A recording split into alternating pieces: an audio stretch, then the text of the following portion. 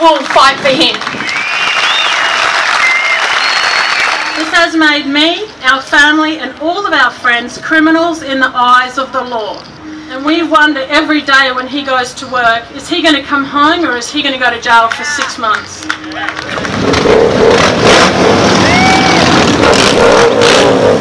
Twenty-three hours a day, seven days a week, no contact with anybody, can't even cuddle his family, can't even see his children, it's disgusting.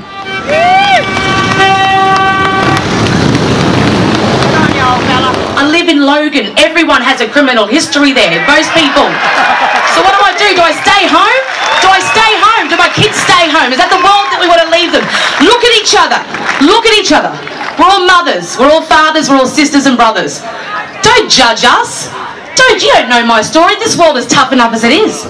The reason I put this jacket on is because I'm not a criminal. My day job is I'm an academic.